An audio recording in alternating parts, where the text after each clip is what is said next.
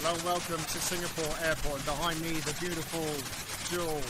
Conceived in 2013, brought to you by the same architects behind Marina Bay Sands, and constructed at a cost of 1.7 billion Singapore dollars. So the question is, why would an airport spend so much on an attraction like this? And the answer is hyper competition. And hyper competition defines Asia. Because if you were to take a five hour flight from here at Singapore Airport or neighbouring Kuala Lumpur Airport, you could reach three and a half billion people.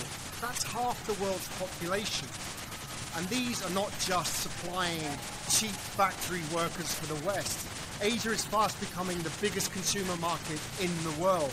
By 2030, two thirds of the world's middle class will be living here in Asia, a combined value of $30 trillion, or twice the size of the US economy today. It's no wonder that brands here are evolving faster than anywhere else in the world, servicing this market.